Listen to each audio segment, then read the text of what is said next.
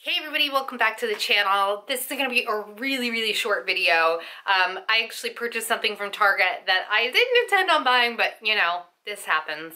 So while I was out of the country on vacation for a couple of weeks, Funko released another 10 inch Target exclusive pop. And I haven't really been interested in a lot of the larger pops.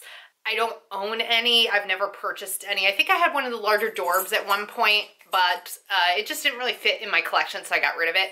But this one, I happened to just stumble upon. It was released while I was out of the country, and I figured I'm never going to get it anyway. But I, uh, I happened to go to my local Target today, and, um, you know, they had one just kind of sitting there all by its lonesome, and I thought, why the hell not? So we have the 10-inch Porg. Oh my gosh. Massive. I've never even seen one this large in person and I just love the face. This is the face of the uh, the Chase Porg, the normal size pop and you can see the Target exclusive sticker up here. And yeah, the box is in fairly decent condition. This is from The Last Jedi. You can see the, uh, the other ones in the series on the back. They're all normal size, of course. And it's it's just ridiculous. This is cute and ridiculous. I don't know why I bought this. This guy cost $30 right now as of today. He's valued at about $55 on Pop Price Guide. I just, he was there. It was an opportunity. I seized it. Like I said, an opportunity. I had to pick it up. I just, I think he's so fantastic. So why don't we get him out of the box? Oh my gosh, he has a bobblehead and everything. These Oh my god.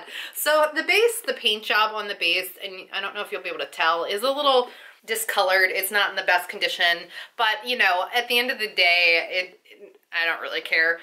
He's gonna be displayed out of the box. I just love his freaking face.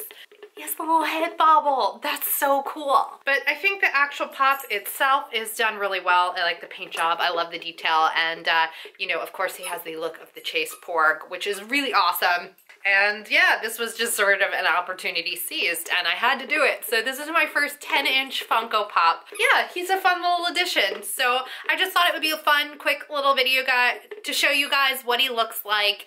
And uh, in case you guys were interested, I definitely recommend to keep checking your targets. Uh, he's probably sold out online, but if I can find it, I'll link it down below for you guys. $30 not too bad. So yeah, here's the uh, Attack of the 10 inch Porg. Anyway, that's all I have for you guys. Thank you so much for tuning in. If you guys like this video, make sure you give it a big old thumbs up and don't forget to subscribe while you're at it.